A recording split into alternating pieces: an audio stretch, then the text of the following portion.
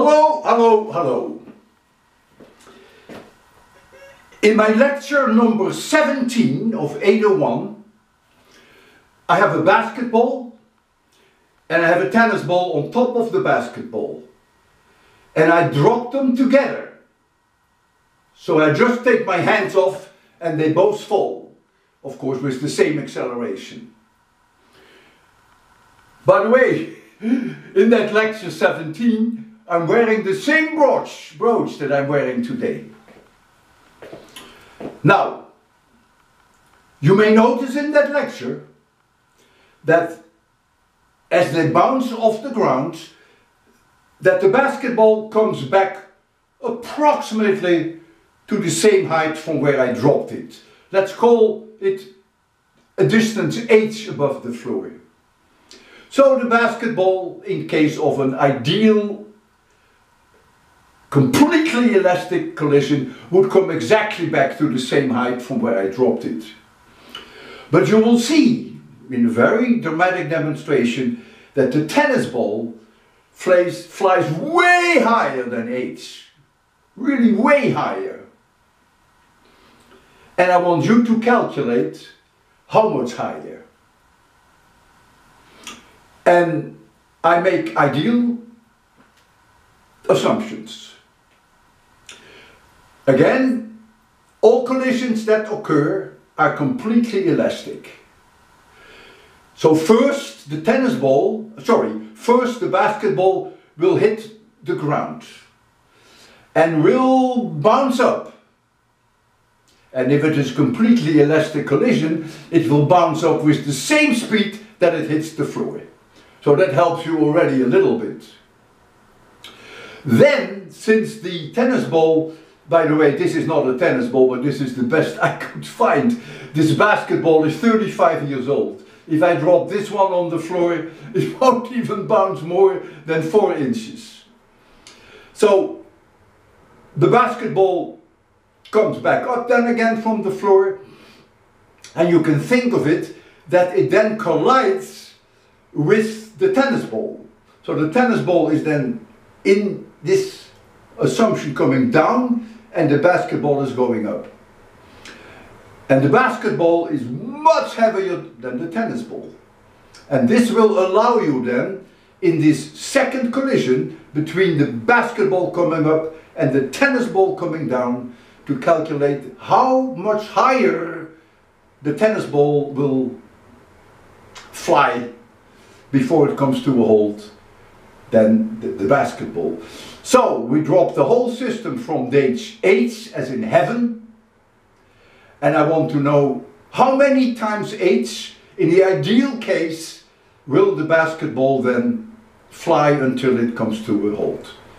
Is it 2H? Is it maybe 3H? Maybe 3.5H? What you may want to do at least to see the effect.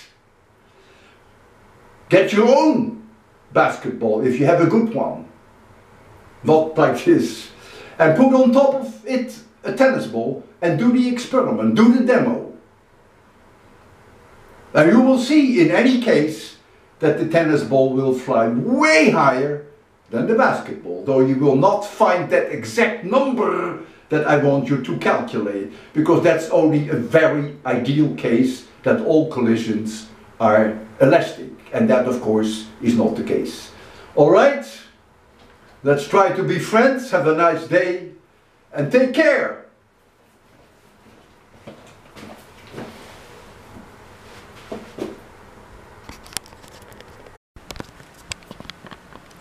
I just worked on the solution of the basketball and the tennis ball. And I worry that many of you are going to take things into account that I really didn't have in mind. In other words, I'm not interested in an accuracy even 5%, maybe not even 10%. So you can simplify almost anything you want to. One thing is that the mass of the basketball is way larger than that of the tennis ball. There is another issue, of course.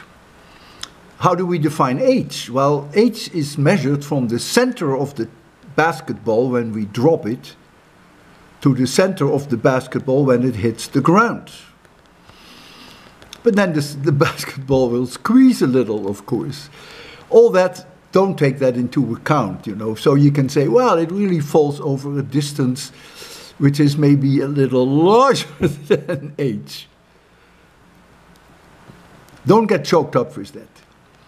Drop that ball from four meters high, and then you take for UH the distance over which the ball moves just four meters.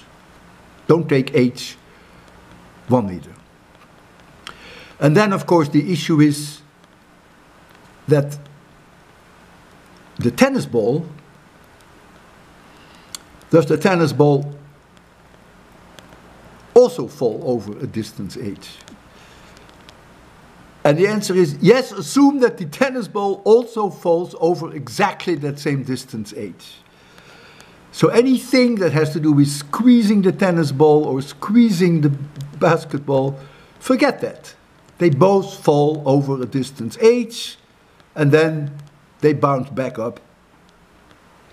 And the tennis ball has a mass which is way, way larger than that of the basketball. So don't get caught up in details. Look at this picture the way that a physicist would look at it when he does a back on the envelope calculation. No subtle details, not interested in 1% or 2% answer, just to get a very cool idea of how, how high approximately that tennis ball would go. All right? I hope you will not be angry when you see my very simple solution. So I decided to make you see part of my lecture 17 during which I do that demonstration with the tennis ball and the basketball. You should be able to hear my voice, I hope, but also you can see the closed captions. You ready for this?